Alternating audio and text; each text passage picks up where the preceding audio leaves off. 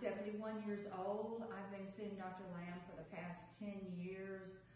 Wonderful experience. I had a fat graft 10 years ago and I recently had a facelift. I'm a week out from that.